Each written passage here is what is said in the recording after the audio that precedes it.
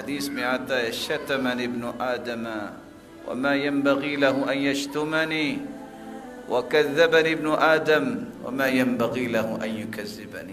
آدم کا بیٹا مجھے گالی دیتا ہے، حالانکہ اسے لائق تو نہیں ہے۔ یہ مجھے جھٹلاتا ہے، جھوٹا کہتا ہے، اس کے لائق تو نہیں ہے۔ اللہ کے رسول کیسے اللہ کو گالی ہے؟ کیسے جھٹلاتی ہے مخلوق؟ اللہ تعالیٰ نے فرمایا میرے لیے گالی یہ ہے کہ کوئی کہے میرا کوئی بیٹا ہے۔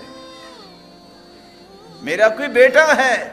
فسبحانی، میں تو پاک ہوں، نہ میری بیوی، نہ میرا بیٹا، نہ میں جنا گیا، نہ میری کوئی اولاد ہے۔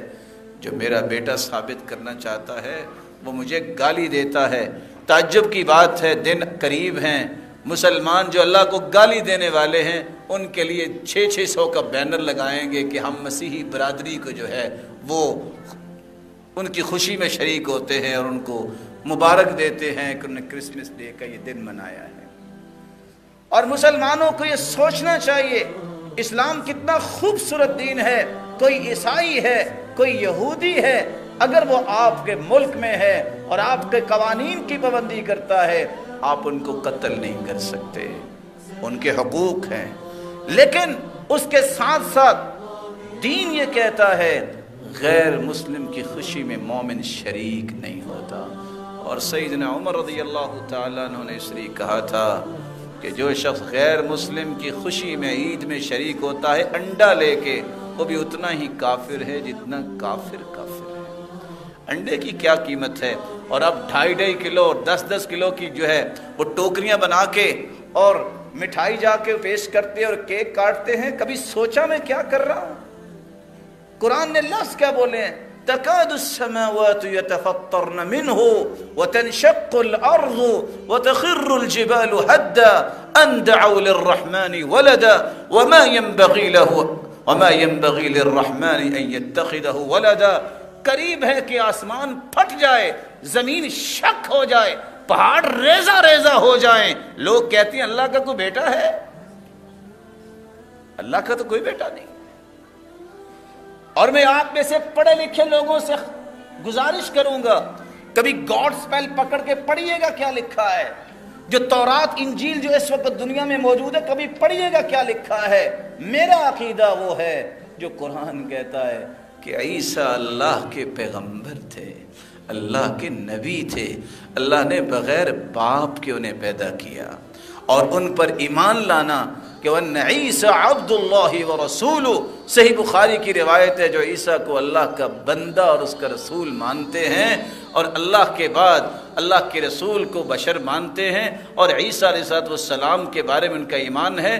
جنت کا ایمان ہے کہ جنت مومنوں کے لیے ہے، جہنم کافروں کے لیے ہے، ایسے لوگوں کے لیے جنت کی آٹھوں دروازے کھل جائیں لیکن آج کی تورات اور انجیل لکھتی کیا ہے؟ وہاں لکھا ہوگا یسو بن یوسف النجار۔ کرتے کرتے من سلالتی آل داود۔ آل داود سے تعلق ہے ان کا۔ اور یسو یعنی عیسیٰ علیہ السلام کے باپ کا نام یوسف النجار ہے۔ یہ لکھنے والے لکھتے ہیں جن سے آج ہم بڑی محبت کا اظہار کرنے کے لیے کبھی بھی سوچتے نہیں ہیں کہ یوسف النجار کی نعوذ باللہ، میرے منہ میں خاک میں یہ بات آپ کو صرف نقل کر رہا ہوں۔ کو لکھتے یہ ہیں کہ مریم علیہ السلام کے ساتھ یوسف النجار کی دوستی ہوئی جس کی پاداش میں عیسیٰ پیدا ہوئے۔ جو تمہارے پیغمبر کو، جو ان پقیزہ ہستیوں کو بے نصب کہیں اور ان کے بارے میں زبان کھولے اور تمہیں شرم اور حیا نہ آئے کہ تم جا کے کیک کاٹ کے دس روپے کی پکچر بنانے کے لیے تمہیں اتنی ہرس ہو جائے کہ میری شہرت ہو جائے۔ کبھی انبیاء کی عزتوں اور عصمتوں کے ساتھ بھی سودے بازی کرتے ہیں۔ رسول اللہ صلی اللہ علیہ وآلہ وسلم کے صحابہ بھی گئے تھے۔ حالانکہ عیسائی تھا وہ۔ اس کے سامنے جب جعفر تیار رضی اللہ تعالیٰ نے سورت مریم کی تلاوت کی تھی نجاشی کے سامنے، تو نجاشی نے کیا کہا تھا؟ تنکا پکڑ کے کہا تھا کہ اتنی بھی کمی نہیں کی، عیسیٰ علیہ السلام کی شان بیان کرنے میں اس بندے نے۔ اور یہی بات اس کو موگ لی تھی۔ اور اسی طرح مسلمان ہو گیا تھا۔ آج مسلمانوں کو یہ سوچنا ہے کہ ہم کدھر جا رہے ہیں ہماری محبت کے زاویے کدھر ہیں۔ اصول سنیے۔